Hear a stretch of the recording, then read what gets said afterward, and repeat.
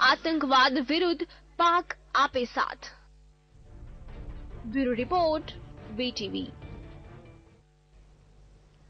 તો ઉરીમાં આતંકી હુમલા બાદ દેશનું વાતાવરણ ગરમાઈ રહ્યું છે. ઉરી હુમલામાં અઢાર જવાન શહીદ થઈ ગયા છે અને બસ તેની સાથે જ ભારતે હવે જવાનોની શહાદતનો બદલો લેવાનું નક્કી કરી લીધું. તેનું જ પરિણામ છે ઓપરેશન પીઓકે. અને આ જ વિષય પર આપણે ચર્ચાનું આજે આયોજન કર્યું છે. ચર્ચામાં આપણી સાથે જોડાઈ ગયા છે વડોદરાથી ડોક્ટર જયેશ શાહ, કે જેઓ વિદેશ બાબતોના વિશેષજ્ઞ છે. સાથે જ છે સ્ટુડિયોમાંથી રક્ષા વિશેષજ્ઞ કર્નલ હરેશ લિંબાચિયા. કોંગ્રેસના નેતા છે જયરાજસિંહ પરમાર અને સાથે છે ભાજપમાંથી પ્રશાંતભાઈ વાળા કે જેઓ રાજકોટથી જોડાઈ ગયા છે અને સ્ટુડિયોમાંથી વીટીવી એડિટર ઈશુદાનભાઈ ગઢવી પણ આપણી સાથે જોડાશે. આ તમામ મહાનુભાવો સાથે આપણે ચર્ચાનો દોર યથાવત રાખીશું. હાલ રોકાઈએ છીએ એક બ્રેક માટે.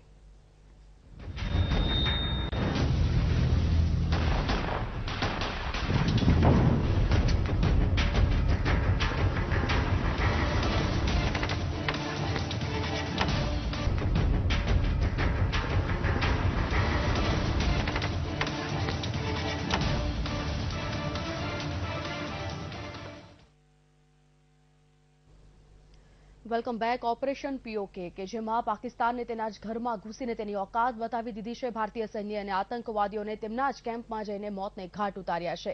સાથે સાથે પાકિસ્તાનને દહેશતનું ટ્રેલર પણ બતાવીને સમજાવી દીધું છે કે જો ભારત તરફ કોઈ આંખ ઉઠાવશે, તો તેને કોઈ પણ હિસાબે બક્ષવામાં નહીં આવે. આજ વિષય પર આપણે ચર્ચા ગોઠવી છે. ચર્ચામાં બ્રેક પહેલા જોડાયા હતા. આપણી સાથે વિદેશ બાબતોના વિશેષજ્ઞ જયેશભાઈ શાહ કંડલ હરેશ લિંબાચિયા, જયરાજસિંહ જાડેજા કોંગ્રેસમાંથી, સાથે છે પ્રશાંતભાઈ વાળા ભાજપમાંથી અને વીટીવી એડિટર ઈશુદાનભાઈ ગઢવી. શરૂઆત આપનાથી કરીશું હરેશભાઈ. અત્યારે દસ દિવસ ઉરી હુમલા બાદ આજે જે ટ્રેલર જોવા મળ્યું છે, પીઓકેમાં જે સર્જિકલ સ્ટ્રાઇક જોવા મળી છે, સૌથી પહેલા એક ટેકનિકલ બાબતે આપણે થોડી સમજવાનો પણ પ્રયત્ન કરીએ અને સાથે થોડી સ્પષ્ટતા કરવાનો પણ પ્રયત્ન કરીએ. સર્જિકલ સ્ટ્રાઇક આખરે આ શબ્દ સમજવાનો થોડો પ્રયત્ન કરીએ. છે શું અને ઓપરેશન કઈ રીતે પાર પડે છે આમાંથી? આમાં એક ઉદાહરણ આપું કે આપણા શરીરમાં જો કોઈ જાતનો વ્યાધિ કે ગુમડું કે ગાંઠ હોય તો આપણે આખા શરીરને ચીરો નથી મૂકતા. આપણે એનું નિદાન કરીએ છીએ. એનું સ્કેન થાય એમઆરઆઈ થાય અને એક્ઝેક્ટ લોકેશન ખબર પડે કે આ જગ્યાએ અહીંયા ગાંઠ છે જે બેનાઇન નથી માલિગ્નન્ટ છે. તો એટલા જ ભાગમાં ચીરો મૂકી અને એ ગાંઠને કાઢી લેવામાં આવે છે. શલ્ય ચિકિત્સા દ્વારા. સર્જિકલ ઓપરેશન્સ જે આર્મ ફોર્સીસ કરે છે, એનું પણ આવું જ છે, એ ચાર ભાગમાં વહેંચાયેલી છે.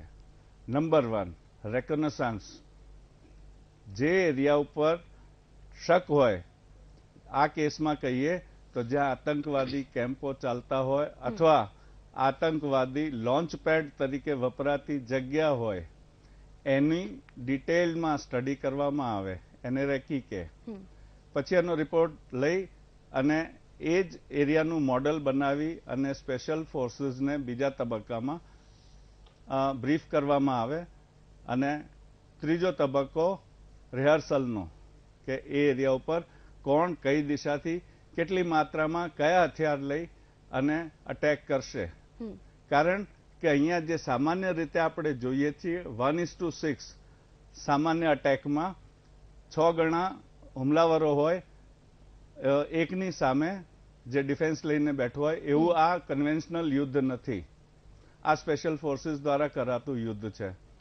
ત્યાર પછી આવે છે quick infiltration conduct of operations જે કામ કરવાનું છે જે જગ્યા સોંપી છે એ કામ પાર પાડવાનું અને એક્સફિલ્ટ્રેશન. આમાં સૌથી મોટી વસ્તુ સરપ્રાઇઝની છે. ટાઈમ પ્લેસ એન્ડ રૂટ જે રસ્તો તમે એખતિયાર કરવાના છો હવાઈ દ્વારા જશો અથવા પેદલ જશો તો કઈ બાજુથી જશો પગપાળા? અથવા કોઈ ગાડીમાં આવશો તો કઈ બાજુથી આવશો? કેટલા વાગે આવશો? આની જાણ દુશ્મનને હોતી નથી. સાથે સાથે કયા હથિયાર અને શું સરંજામ સાથે લાવશો? આને ટોટલ સરપ્રાઇઝ જેવી રીતે ગઈ રાતે બન્યું છે. એને જનરલ લેવલમાં કહીએ હું વધારે ડિટેલમાં નહીં જાઉં તો એને સર્જિકલ સ્ટ્રાઇક એક્ઝેક્ટ લોકેશનમાં એમાં તકેદારીએ રખાય કે જે એરિયા નિર્દેશિત કરાયો છે ત્યાં હાજર તમામ લોકો સંપૂર્ણપણે આતંકવાદી હોય અથવા આતંકવાદી વિધિઓનો સાથ આપતા હોય સહારો આપતા હોય અને એમને એન્કરેજ કરતા હોય. ઓકે. જયરાસિંહ દસ દિવસ પહેલા જ્યારે ઉરીમાં હુમલો થયો, એક તો આ પહેલી વખત એવું નથી કે પાકિસ્તાન તરફથી આ પ્રકારના હુમલા કરવામાં આવ્યા હોય. અગાઉ ભૂતકાળ જો વાગોળવા જઈએ તો ઘણી બધી વખત આ પ્રકારના હુમલા થઈ ચૂક્યા છે. આ એક એવો હુમલો હતો જેમાં અઢાર જવાન શહીદ થયા છે. એટલે કે સમગ્ર દેશમાં એક એવી આગ ભભૂકી ઉઠી. આ સમગ્ર દેશવાસીઓની એક એવી માંગ હતી કેન્દ્ર સરકાર પાસેથી અને ખાસ કરીને મોદી, જેને કેટલાય લોકો રોલ મોડલ તરીકે જોવે છે અને એવી અપેક્ષા પણ આ નેતા તરફથી રાખતા હોય છે કે આ એક એવા નેતા છે જે તેનો કડક જવાબ આપવા માટે સક્ષમ છે. આ એક ઉરી હુમલા બાદ સમગ્ર દેશની એવી માંગ હતી કે આ વખતે હવે કોઈ પણ પ્રકારે બક્ષવામાં ન આવે પાકિસ્તાનને અને તેનો જવાબ પાકિસ્તાનને આપવામાં જ આવે. અત્યારે જે આ દસ દિવસ બાદ પગલાં લેવામાં આવ્યા છે ઓપરેશન પીઓ કે વિપક્ષ તેને કઈ રીતે જુએ છે? પ્રથમ તો વિપક્ષની ભૂમિકામાં જ્યારે દેશનો મામલો હોય અથવા તો બીજા દેશની સામે લડવાની વાત હોય અથવા તો યુદ્ધની બાબત હોય કે દેશની અસ્મિતાની બાબત હોય ત્યાં હંમેશા વિપક્ષની જે ભૂમિકા હોવી જોઈએ એ હંમેશા સરકારની સાથે હોય બિલકુલ તમે જો અમારી શરૂઆતમાં જ્યારે આપણા સમાચાર આવે ત્યારે સૌ પ્રથમ પહેલું નિવેદન અમારા અધ્યક્ષ શ્રીમતી સોનિયા ગાંધીનું જ નિવેદન આવ્યું બિલકુલ. હતું. અને સોનિયા ગાંધીએ કહ્યું હતું કે અગાઉ પણ કોંગ્રેસે પણ પોતાનું સ્ટેન્ડ ક્લિયર કટ જાહેર કર્યું હતું કે દેશના હિતમાં in the interest of the country જ્યાં જરૂર પડે ત્યાં નેશનલ ઇન્ટરેસ્ટમાં કોંગ્રેસ એ નરેન્દ્રભાઈની સાથે છે એટલે વડાપ્રધાનની સાથે છે એમાં તમારે જે કંઈ પગલાં લેશો એ અમારું સમર્થન રહેશે. અને આજે જે સર્વપક્ષીય દલોની બેઠક બોલાવે તો આજે વાત થઈ. પણ અગાઉ પણ કોંગ્રેસે તો સ્ટેન્ડ કહ્યું હતું કે તે બોલાવો કે ન દેશના હિતમાં જે પગલાં લેશો એમાં અમારું સમર્થન છે. આમાં એક વાત બીજી ઉડીને આંખે વળગે એવી વાત છે અથવા તો મારે વિપક્ષ તરીકે કહેવું જોઈએ કે કોંગ્રેસનો રોલ વિપક્ષમાં જ્યારે હોય ત્યારે હંમેશા હકારાત્મક જ હોય છે. હું અગાઉની પણ દાખલા તમને આપી શકું છું. જ્યારે જ્યારે પણ કોંગ્રેસ સત્તામાં હતી ત્યારે પણ જેટલા જેટલા પ્રતિનિધિ મંડળો જ્યારે જ્યારે પણ આવી એ ક્રાઇસિસ દેશ સમક્ષ આવે છે ત્યારે હંમેશા કોંગ્રેસે વિપક્ષને પૂરતું પ્રાધાન્ય આપેલું જ છે. એના કરતાં પણ બીજી વાત કરું. કોંગ્રેસે ક્યારેય કોંગ્રેસે સિત્તેર વર્ષમાં લગભગ પંચાવન કરતાં પણ વધુ વર્ષ સુધી શાસન કર્યું છે આ દેશ પર. પણ કોંગ્રેસે ક્યારેય પણ ક્યારેય વિપક્ષી ટીકા વિદેશી ધરતી ઉપર જઈને કરી નથી. સમજો અત્યારે હું મુદ્દો ડાયવર્ટ કરવા માંગતો નથી પણ મુખ્ય વાત ધ્યાન દોરવા માંગુ છું. કે કોંગ્રેસે ક્યારેય વિપક્ષની ટીકા કરી નથી, દેશની આંતરિક રાજકારણની ટીકા નથી કરી? નરેન્દ્રભાઈએ કરી છે પાછી? નરેન્દ્રભાઈએ બેશક હવે આપણે મુદ્દો ભટકી રહ્યા છીએ. નહીં, નહીં, નહીં મુદ્દો ભટકે એટલા માટે અત્યારે- કે અત્યારે અમારું stand અત્યારે આપ ટીકાની વાત નથી કરી રહ્યા. એક એક તરફ ટીકા એક એક તરફ ટીકા ન કરવાની વાત કરીને આપ ઇનડાયરેક્ટ અત્યારે વડાપ્રધાનની ટીકા કરી રહ્યા છે. અત્યારે વાત ખાલી એ છે કરી, અત્યારે વાત ખાલી એટલી છે કે વિપક્ષ અત્યારે આ પગલાને કઈ રીતે જુએ છે? પોઝિટિવ નેગેટિવ વાત ફક્ત એટલી વાત છે. આકરા પગલા લેવાની આપે વાત કરી એના ઉપર જ હું પ્રકાશ પાડવા માંગુ છું એટલે મારે એને પૂરો વિદેશમાં જઈને નેતા જે તે શાસક નેતા કેવી વાતો કરતા હોય છે અત્યારે વાત નથી. ચલો આ ચર્ચાને આપણે આગળ વધારીશું. કોના? રોલ મોડેલ કોના? એમના એકત્રીસ ટકા લોકોએ જે મત આપ્યો જે ભક્તો છે એમના રોલ મોડેલ આ દેશના ન હોઈ શકે. અત્યારે આપણે એ દિશામાં નથી જવું. બાકી લોકસભાની ચૂંટણીમાં જે રીતે આપણે બહુમતી મળી હતી અલગ વસ્તુ છે. જયરાજસિંહ અત્યારે રોલ મોડલની આપણે એકત્રીસ ટકાની વાત કરી રહ્યા. ચલો આ ચર્ચા આ ચર્ચાનો હજુ આપણે અલગ મુદ્દા પર ચર્ચા કરવાની છે.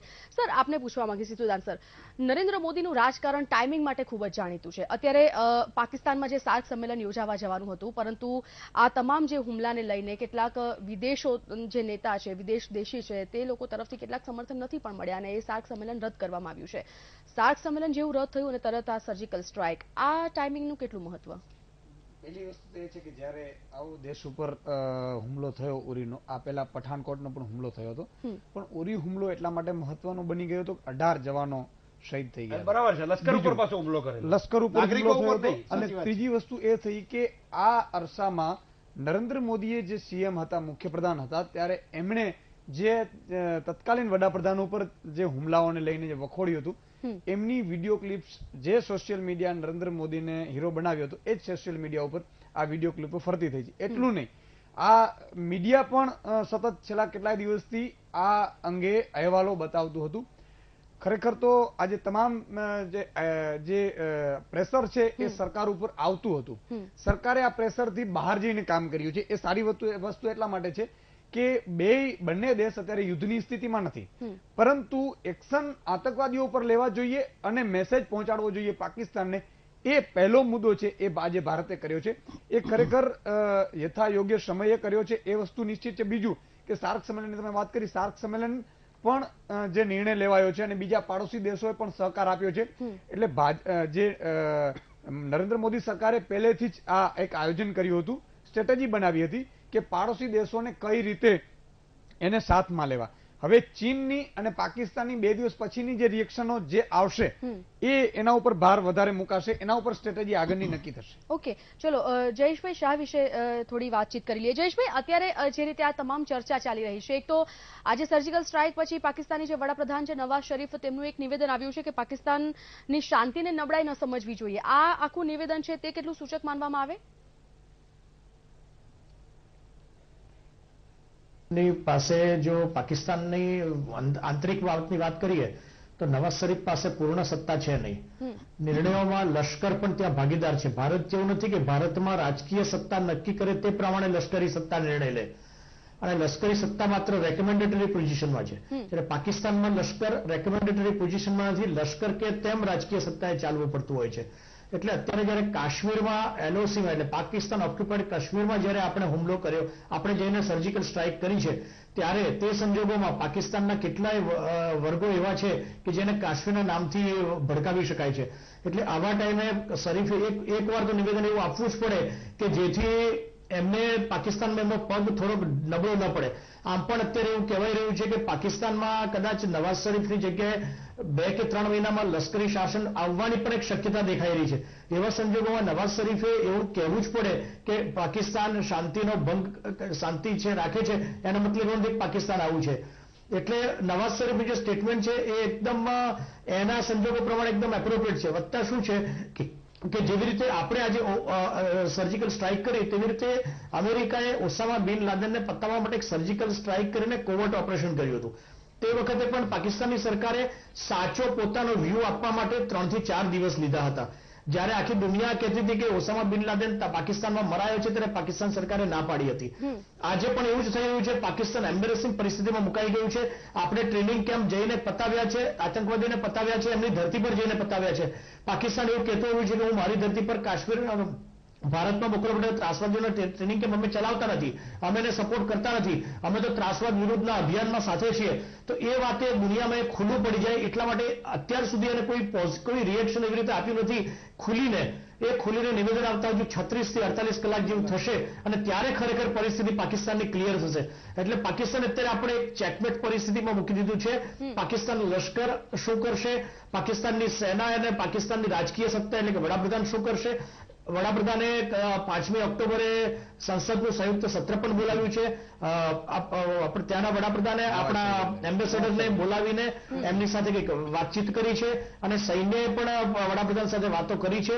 મુવમેન્ટ ત્યાં પણ શરૂ થઈ છે, પણ એક્ઝેક્ટ રિએક્શન આવતા છત્રીસથી અડતાલીસ કલાક લાગશે અને ત્યારે જ ખરી પરિસ્થિતિ ક્લિયર થશે. ચલો, ભાજપના નેતા રાજકોટથી આપણી સાથે છે પ્રશાંતભાઈ વાળા. તેઓની પણ પ્રતિક્રિયા જાણીએ. પ્રશાંતભાઈ, આપની પણ પ્રતિક્રિયા જાણવા માંગીશું. ઓપરેશન પીઓકે વિશે?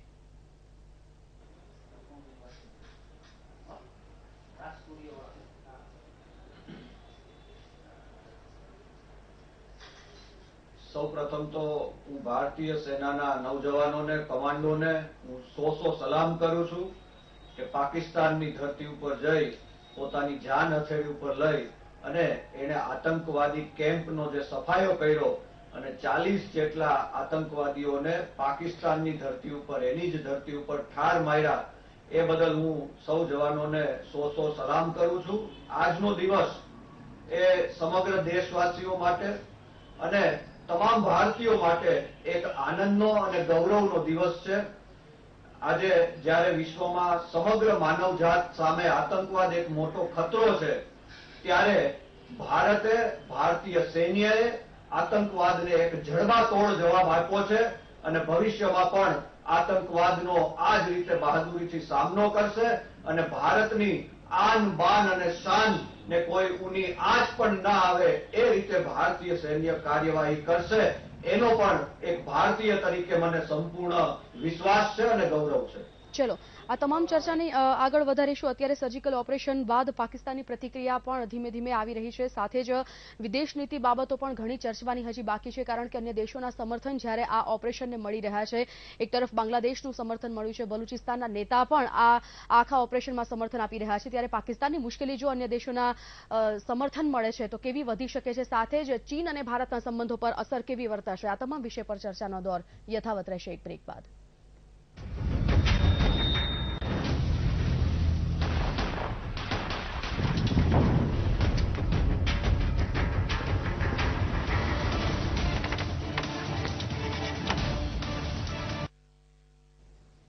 Welcome back. ચર્ચાનો દોર યથાવત રાખીએ. હરીશભાઈ, આપના તરફથી જાણવા માંગીશું. સેના દ્વારા જે અત્યારે આતંકી હુમલો સોરી, જે સર્જિકલ સ્ટ્રાઇક કરવામાં આવી છે. એક વાત એ સામે આવી છે કે એક ભારતીય સૈન્ય હોય કે કોઈ પણ દેશની સૈન્ય હોય, આ પ્રકારનું જ્યારે હુમલો કરવાની વાત હોય કે આ પ્રકારની જ્યારે ઓપરેશન પાર પાડવાની વાત હોય, એક મનોબળ તેઓનું ખૂબ જ મક્કમ કરવાની વાત હોય છે. સર્જિકલ સ્ટ્રાઇક એક એવા સમયે કરવામાં આવ્યું છે આ ઓપરેશન કે જેમાં કોઈ પૂર્વ એ એવી કાર્યવાહી કરવામાં નથી આવી કે પૂર્વ કોઈ તૈયારી કરવામાં નથી આવી. આ દસ દિવસમાં જ એક લેવાયેલો નિર્ણય છે અને તેમાં પણ દસ દિવસે આતંકવાદી હુમલાને થયા છે.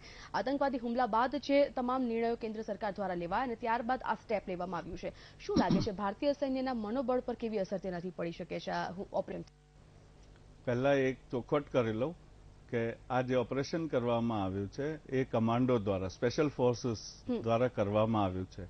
અને એમને આવા સ્પેશિયલ ઓપરેશન માટે જ ટ્રેન કરાયા છે. એટલે એમના માટે બે કે ત્રણ કલાકનો યુદ્ધાભ્યાસ અથવા એના રિહર્સલ કહીએ તો એ પર્યાપ્ત છે. ઇનફ છે. ખાલી અમને લોકેશન્સ જોવાના હોય છે કે એન્ટ્રી ક્યાં છે આપણે એક્ઝિટ ક્યાંથી કરવાનું છે કઈ માત્રામાં ફાયર કરવાનું બાકી આપણે એમને એકડો ઘૂંટાવાનો નથી કે આમ કરો. અને હા જ્યાં સુધી મનોબળનો પ્રશ્ન છે તો આ- એ તો આખા સૈન્યનું મનોબળ આપણને દેખાઈ આવે છે કે અત્યારે મેન્ડર સેક્ટરમાં જે સાડા ચાર વાગે એક મુઠભેડ શરૂ થઈ છે આતંકીઓ સાથે. માનવામાં આવે છે કે ચાર આતંકવાદીઓ મેન્ડર સેક્ટરમાં ઘૂસવાનો પ્રયત્ન કરી રહ્યા હતા અને સૈન્ય એનો જડબાતોડ જવાબ આપી એકાદને અત્યાર સુધીમાં ઠાર કર્યો છે. એટલે મનોબળ બહુ જ આપણામાં, આપણા સૈન્યમાં મનોબળની કોઈ કમી નથી. સાથે સાથે પ્રશિક્ષણ, હથિયાર પાછળની એક્સપર્ટીઝ અને દરેક ઇક્વિપમેન્ટ વાપરવાની એક્સપર્ટીઝ આપણા સૈન્ય પાસે છે. અ, આપના તરફથી જાણવા માંગીશું. સર્જિકલ સ્ટ્રાઇક ભારતનો એક પ્રતિભાવ છે. ખાસ કરીને જ્યારે આ પ્રકારના સ્ટેપ લેવાતા હોય છે ત્યારે ભારત સૈન્ય હોય કે ભારત સરકાર યુદ્ધ માટે કેટલું તૈયાર છે?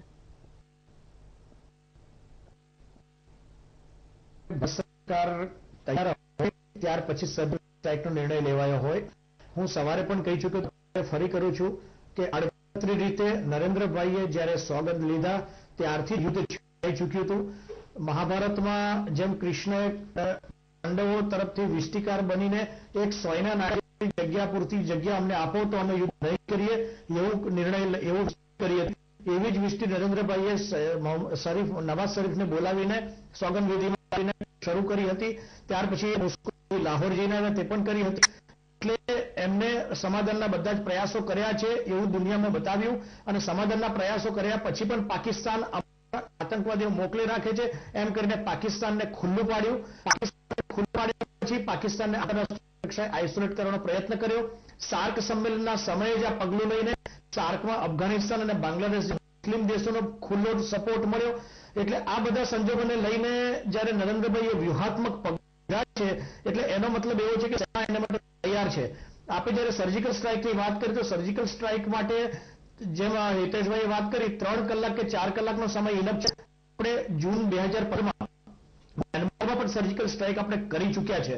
એટલે આપણા માટે સર્જિકલ સ્ટ્રાઇક આજે એલઓસી પર પહેલી વાર થઈ છે, પણ આપણે સર્જિકલ સ્ટ્રાઇક નરેન્દ્રભાઈના સ્થાપન આવ્યા પછી મ્યાનમારમાં પણ કરી ચૂક્યા છે. એટલે આપણું સૈન્ય એટલું તૈયાર છે, આપણા સૈન્યનું મનોબળ આજના નિર્ણયથી ખૂબ વધ્યું છે. વત્તા આપણા સૈન્ય આજની તારીખ સુધી જે દસ વર્ષમાં કે વીસ વર્ષમાં કે રાજકીય ઈચ્છાશક્તિ સૈન્યને રાજકીય ઈચ્છાશક્તિની જરૂરી સૈન્યને દ્રઢ નેતૃત્વ હોય અને દ્રઢ રાજકીય ઈચ્છાશક્તિ ધરાવતા હોય એવા નેતૃત્વની જરૂર હતી. એવું નેતૃત્વ આજે સૈન્યને મળ્યું છે. સૈન્યને એટલે જ ઘણું અને કદાચ થોડી નાની મોટી કમીઓ કદાચ સૈન્યના ઇક્વિપમેન્ટમાં કે સૈન્યની તૈયારીમાં હોય પણ ઈચ્છા શક્તિ અને મનોબળ એટલું મજબૂત છે. કેન્દ્ર રાજકીય શક્તિ મજબૂત છે. એટલે સૈન્ય ગમે તે પરિસ્થિતિમાં તૈયારી રાખી શકે છે અને ગમે તેવી પરિસ્થિતિને પહોંચી વળવા માટે સક્ષમ છે એવું દેખાય છે. ઓકે.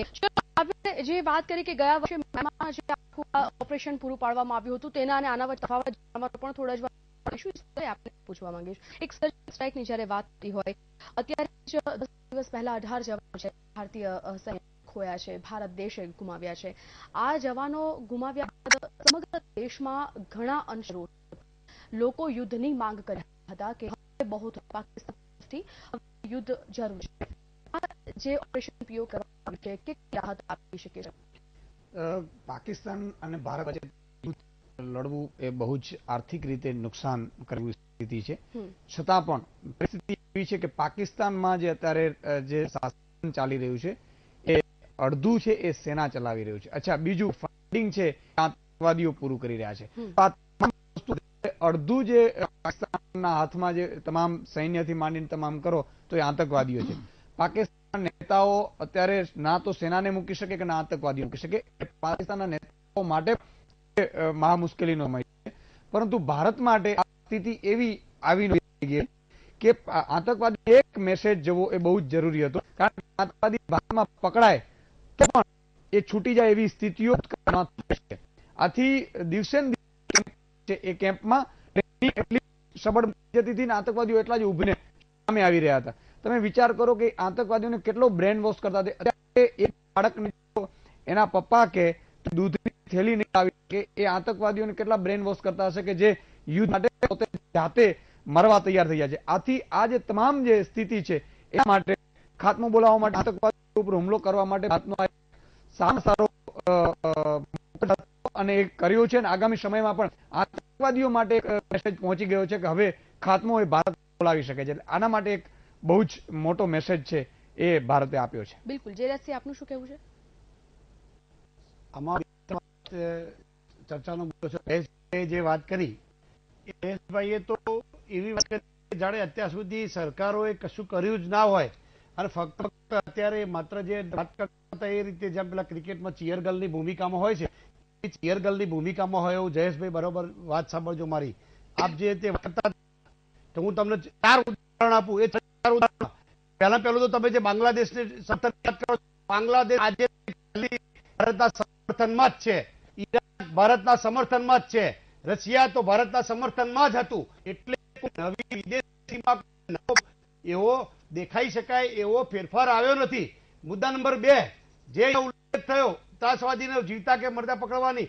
કસાબને જીવતો જ પકડ્યો છે. કોઈ પણ આતંકવાદીને જીવતો એ બહુ મોટી ગણાય.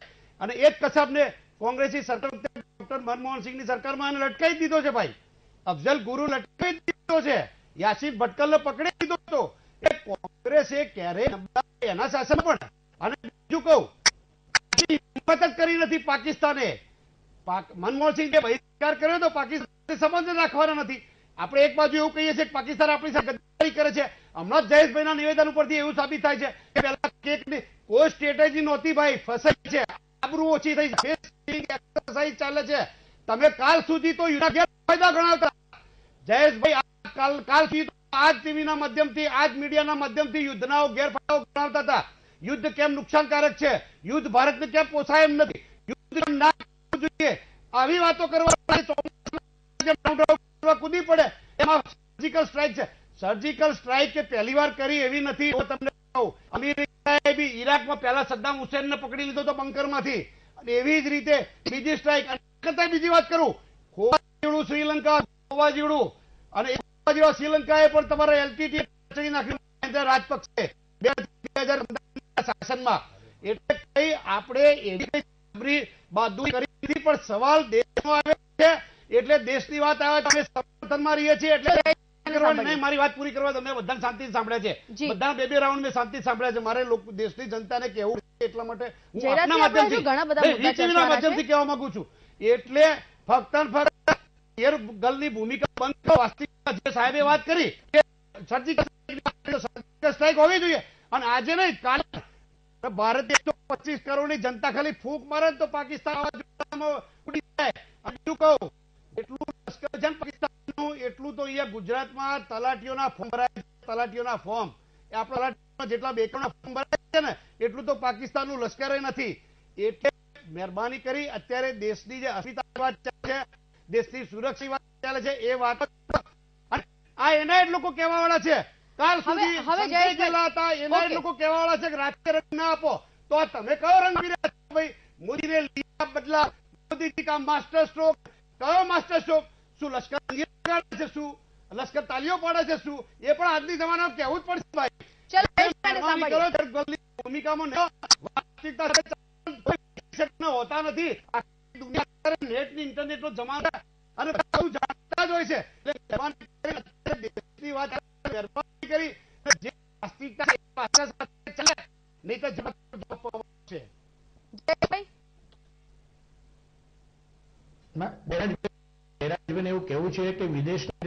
વાત થઈ છે. તો વિદેશ નીતિ છેલ્લા દસ વર્ષમાં અને એ પહેલાના પાંચ વર્ષના શાસનમાં વિદેશ નીતિ નબળી પડી જ હતી. એમાં કોઈ શંકાને સ્થાન બાબતે શંકાને સ્થાન તમે એક્ઝામ્પલ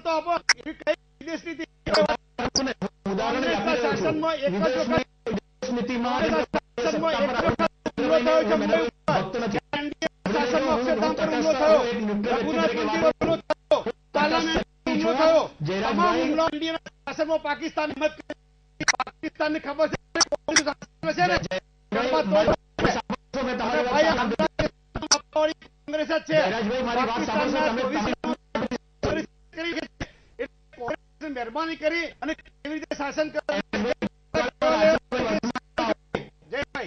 જયરાજભાઈ કોંગ્રેસ ભૂતકાળમાં રાજવાને તમે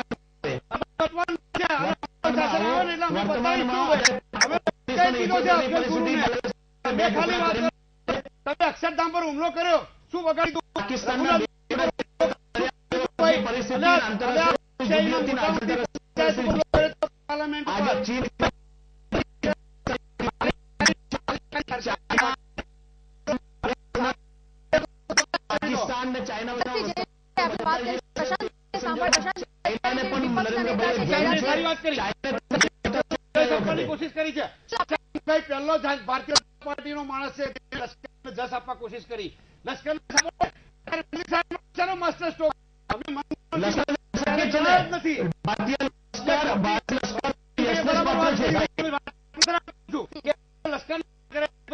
લશ્કરને સલામ મારું છું લશ્કરે પગલા બરાબર લીધા તો અત્યારે લશ્કરની વાત કરવી જોઈએ શેના માટે એ માસ્ટર સ્ટ્રોકની વાત કરે છે ના-.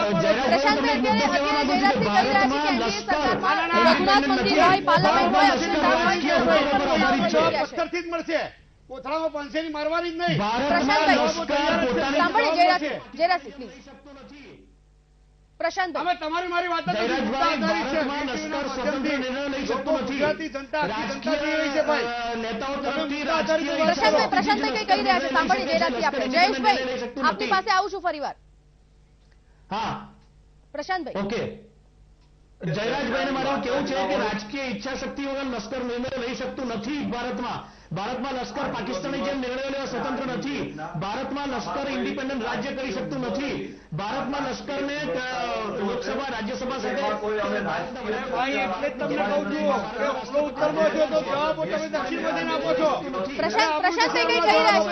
જયેશભાઈ જયરાજસિંહ આપણે સાંભળીએ જય- જયેશભાઈ જયેશભાઈ. આપની પાસે આવું છું. પ્રશાંતભાઈ કઈ કહી છે. જયેશભાઈ બિલકુલ હું જે વાત કરી જયરાજસિંહ જયરાજસિંહ એક સેકન્ડ કે જી. જયેશભાઈએ જે વાત કરી એ વાત સાથે હું પૂરેપૂરો સહમત છું. જયેશભાઈએ જે વાત કરી એ વાત સાથે હું પૂરેપૂરો સહમત છું કે જ્યારે કેન્દ્રમાં દ્રઢ મનોબળ ધરાવતું દ્રઢ રાજકીય ઈચ્છાશક્તિ ધરાવતી સરકાર હોય અને સાથે સાથે એક દ્રઢ મનોબળ ધરાવતું સૈન્ય હોય આ એક સુખદ સમન્વય જ્યારે થયો છે ત્યારે આતંકવાદને જડબાતોડ જવાબ આપવાનું કામ ભારતીય સૈન્યએ કર્યું છે આપણા સૌ માટે સૌ ભારતીય માટે આજે ગૌરવનો દિવસ છે. આજે કોઈ રાજકીય ચર્ચા કરવાનો દિવસ નથી અને કોઈ રાજકીય ચર્ચા કરવી ન જોઈએ. આ દેશની સુરક્ષાનો મુદ્દો છે રાષ્ટ્રીય સુરક્ષાની મુદ્દો છે. આ કોઈ રાજકીય મુદ્દો નથી. હું કોંગ્રેસના મારા મિત્રને પણ એટલું જ કહીશ કે આમાં તમે રાજકારણને વચ્ચે ન લઈ આવો. વાત કરી રહ્યા ગ્રાફિકલ પ્રેઝન્ટેશન ને બધી યુદ્ધની આપ વાત કરો છો જયેશભાઈ વાત કરું છું ચલો એક બ્રેક માટે રોકાઈએ. છીએ આ તમામ મુદ્દાઓ પર ચર્ચા યથાવત રાખીશું. દર્શક મિત્રો આપણે એક અત્યારે બ્રેક માટે રોકાય છે બ્રેક બાદ વિદેશ નીતિની વાત કરવાની છે. જે અત્યારે જ મુદ્દો ઉખડ્યો છે વિદેશ નીતિનો ત્યારે વિદેશ નીતિ પર કેવી અસર પડી શકે? કારણ કે ચીન અને પાકિસ્તાનની મિત્રતા જગ જાહેર છે. બીજી તરફ અત્યારે તમામ દેશો ભારતના આ પગલાને સમર્થન આપી રહ્યા છે. ત્યારે પાકિસ્તાનની મુશ્કેલી એ બાબતમાં કેટલી વધી શકે છે? આ તમામ મુદ્દાઓ સાથે પરત ફરીએ છીએ એક બ્રેક બાદ.